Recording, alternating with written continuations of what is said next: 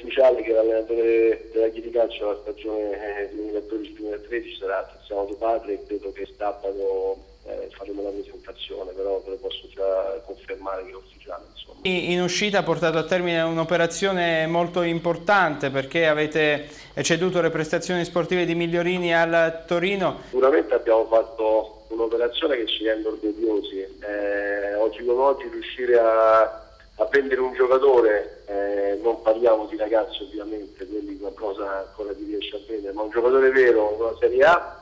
probabilmente almeno nella storia del, moderna della Chiedi Calcio è la prima volta che accade, ma abbiamo tanti altri calciatori abbiano calcato la Serie A, quindi hanno indossato questa maglia. Abbiamo ricevuto un riconoscimento economico da parte del Torino, come era logico e giusto che fosse,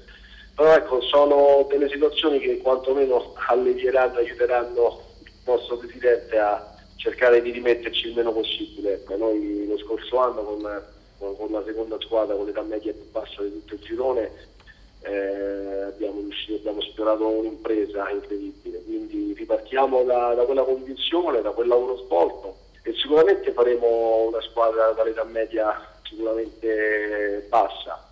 però ecco il nostro obiettivo fondamentale adesso è quello di parlare con i ragazzi tra virgolette netti, non, non, non di carta di identità ma di militanza, ma io credo che se riuscissimo a tenere